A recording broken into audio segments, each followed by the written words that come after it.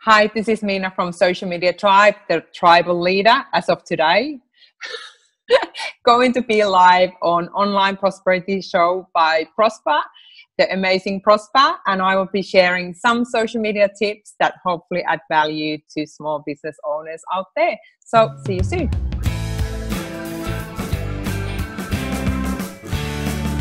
Welcome to yet another exciting episode of the Online Prosperity Show. And today I've brought you the tribe leader herself, uh, Minna. Minna, how are you doing today? I am doing amazing. Thanks for asking, Prosper. Fantastic. Now, I've called her the tribe leader because she is um, the head of uh, social media tribe that is actually empowering business people to pass on their message in the world.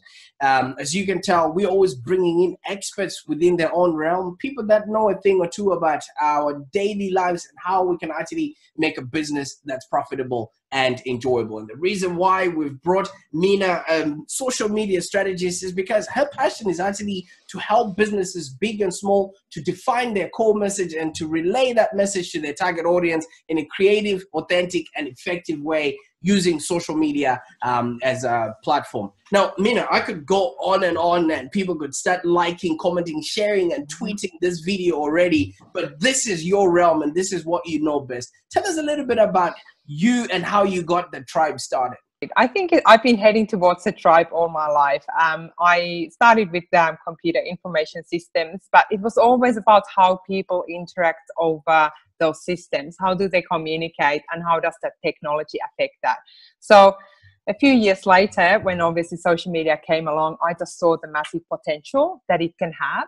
And also, coming from a small business background, I always thought that this social media is a game changer because now you don't need to buy airtime on TV or radio necessarily. Um, at the time, also, uh, social media was mostly free. So for small businesses, all of a sudden you have a platform, you have a channel, your own publishing channel where you can broadcast your message anywhere in the world. You can just uh, start tweeting to someone uh, overseas or all over the world. So that was a massive game changer, and I wanted to be part of it. And obviously being able to then empower other businesses to to um, get their message out there absolutely and thank you so much for that now social media is very new. I mean considered to everything else that we have had in terms of technology we've had cars for um, you know over hundreds of years. We've mm. had the telephone for over hundreds of years. But social media is just something that has just um, you know come into our midst. How do you find people are actually taking it on especially business people uh, that you deal with so I've started Social Media Tribe in 2011. So at the time, it wasn't there was those few businesses that got it and they saw the opportunity and they were ready to run with it and over the years, uh, I did have to ask, uh, answer the question often that what isn't that a fad? It's going to go away. Um, but it hasn't gone away. It's only been getting bigger, and now times have changed. And these days, I don't have to explain myself to most of the businesses. Everybody gets social media, so they understand that this is something that they will need to do for their business.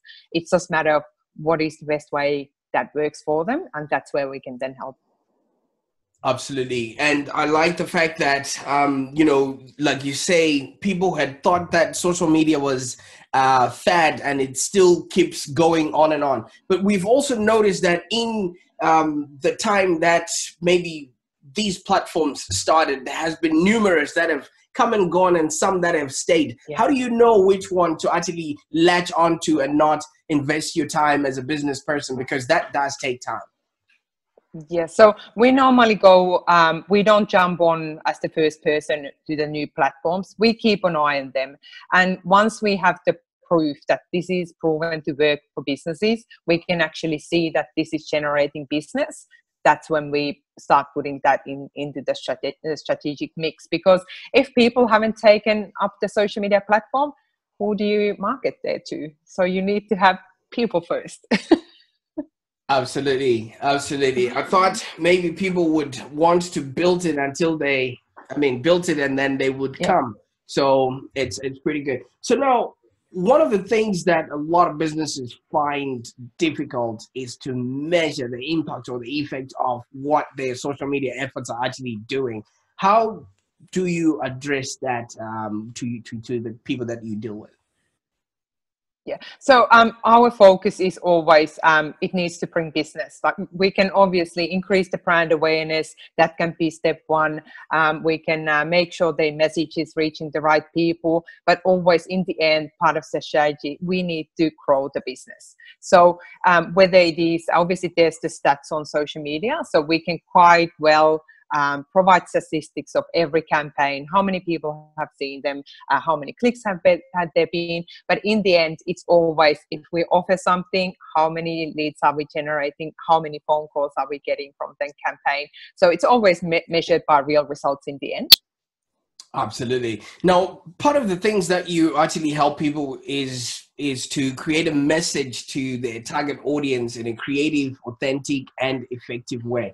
Um, if you have to actually stress authenticity online, uh, then that means the rest of the people are either faking it or they're either uh, not presenting themselves in an authentic way. Now, that then becomes a buzzword to a lot of people. How can you actually measure or how do you know authenticity is prevalent or is present in any message that a business owner can actually be putting out? Hmm, that's a good question. Uh, I probably can't say it without without knowing the people behind the message. That's that, so if I'm not working with them, I necessarily wouldn't be able to say that they are congruent in their message. But if we work with them, we make sure that that is what happens because I just find that there is nothing more powerful than when the message comes from the passion of the people behind the business and how they are there to make a difference in other people's lives. And it really comes from that, that authentic. I just find that that is such a irresistible fuel that if we can capture that in the online message um, that's when you stand from the crowd crowd you because you are unique in that field you're communicating it in a very energetic and strong way and then that's what then attracts there's a little bit of that law of attraction that i believe in happening that it is the energy in the message that really attracts the people. So you can feel that uh, when it's right. Absolutely. You've written a book um that um, you know is is what probably got me or got my attention to you. And um, it's entitled you know in the heart of social media marketing. Just briefly tell us what it is about and who it's targeted for and what should people expect when they uh, make a purchase or read that book. Well it really comes back to the authentic and that's um, so basically um, it is for uh, business owners um, understanding the importance of the message. When it is that um, how to communicate um, uh, who your services are for in a like i say authentic way which means that we really dissect um, who your services are for what makes your dif- your business different and what are those shared values and and, and beliefs that then you can connect over because the magic on social media is the connection. So that's what it's really talking about that it's so important. Um, it's not about the numbers of trying to just um, get your message as as many people as you want. It starts with that. But if you don't connect with that message you really don't get that many results. Uh, people are looking for more meaning in their interactions with their businesses. Uh, they really want to buy into something that they believe in and then that aligns with their values, and that's that's what that is based on, and that's how how we then work with our clients um, uh, from then on. Absolutely, absolutely, and um, thank you so much for. I mean, you know, being cooperative uh, and also helping other businesses to actually shine online because um, social media is is something that is like a minefield right now for a lot of people, and some people don't quite know where to begin or where to where to start. Right now, there's probably three or four major uh, platforms that you could you know recommend to to people to get started on. Which one would you think that people should clearly um, you know uh, stake their claim in in order to reach out and be authentic to the audience that they want to reach out to? Yep. So um, I um, so obviously it all starts with the where the clients are. So we need to be clear on where that business is or that person's ideal audience is. So if they are going to be on twitter then i would say twitter. Um, so it all depends on um, where we are reaching their audience. But video is obviously it's the richest media. It's the best way of communicating and building that um, authentic connection and um, sharing information of services so whether it's video on um, on Facebook, on Instagram, or YouTube, those are probably probably the best tips that I can give.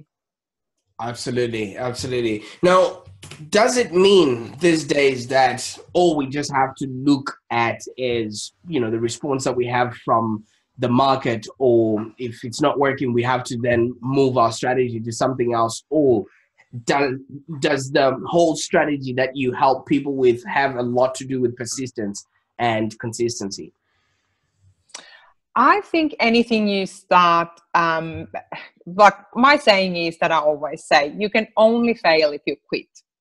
And if you really believe in what you are doing um, you're not going to just try once and give it up. We would nobody would none of us would walk if we had given up the first time we fell over so obviously, if that the persistence is part of um, that um, develops us as people and then helps us master the craft, whatever it is that we decide to do.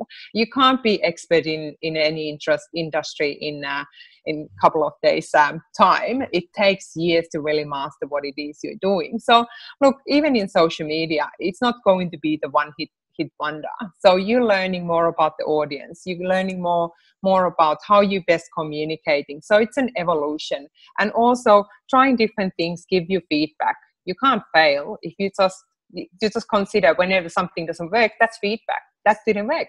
Let's try something else.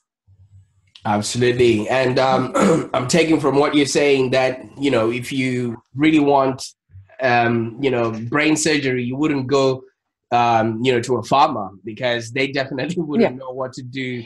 Uh, yeah. Now, in the event that somebody has refused to be, did you say a one-hit wonder or a one-click wonder? Ooh. So, in I the event that somebody yeah. refuses to be a one-click yeah. wonder, how can they get a hold of you so that they can um, um, you know, enhance um, and empower or you know, or share their message to to the world or to the people that are receptive to it? I think the best way of getting to know how we work as a social media tribe. So I have a um, team of experts working with me, and we we can do the full service of social media content creation, video, uh, photos, and and copywriting and managing um, campaigns. So we can do all that. Um, but I think the best uh, way is looking at um, my book. Um, it is available on all the online um, book um, stores. So Book Depository, Amazon, a few others will have it as well. So it's called In the Heart of Social Media Marketing by Minna Salmesvuo. So that's probably the best way because we like to work with businesses who understand where we're coming from and work on the joint values. So if that resonates, um, we would be happy to uh, see where that can lead to.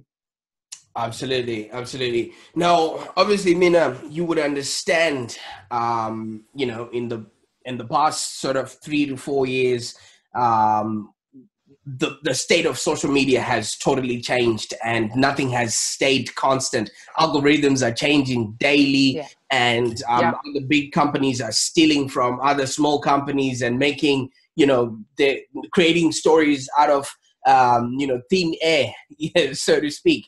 Um, yeah. you know, th- that whole confusion that's happening around uh, social media. Do you think this is something that will continue?